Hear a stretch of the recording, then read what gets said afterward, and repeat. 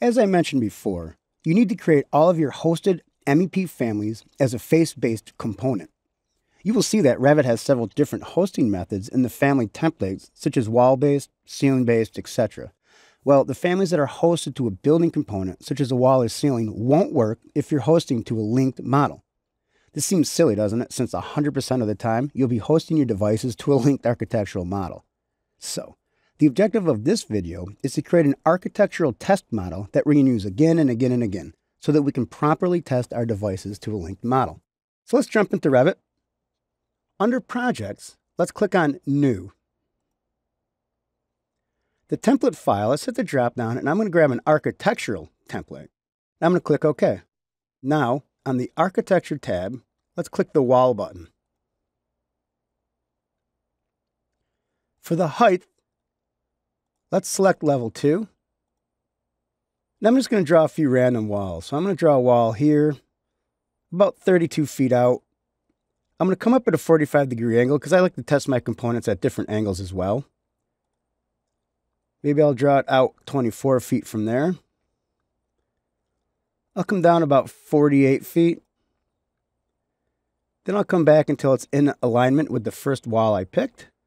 And I'm going to come up and I'm just going to close it in. Nothing special. Let's hit escape a couple times. Now I'm going to draw another wall straight down from here. So I'm going to select this wall, create similar. Now I'm going to pick a point like right about here. I'm going to come down about here. I'm going to hit escape. Maybe I'll draw one more wall. I'll come down about eight feet here and draw it straight over. Now I'm going to hit escape. Now what I'd like to do is go to ceiling plan level one. I'm going to put a couple ceilings in. So on the architecture tab, I'm going to click on the ceiling button. I'm going to go into this room. I'm going to pick a ceiling. I'm going to pick a spot. Then I'm going to pick another spot there. I'm going to hit escape. I'm going to go back down the level one floor plan. I'm going to click the door button. I'm going to zoom in. I'm going to put a door here. I'm going to hit my spacebar to flip it to the wall. Put one right about there. Maybe put one right about here. And I suppose I'll put one right about here. I'm going to hit escape a few times. Now what I'm going to do is I'm going to put some rooms in. So on my architecture tab, I'm going to come down and click the room button.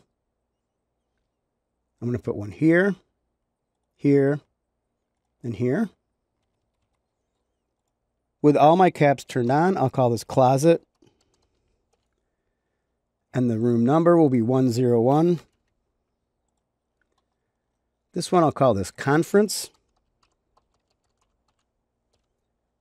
And this one will also be 101. Elements have duplicate number values, which is fine. I'm going to call this one conference